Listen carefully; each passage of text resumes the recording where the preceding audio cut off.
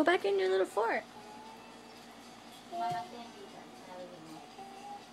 Hmm?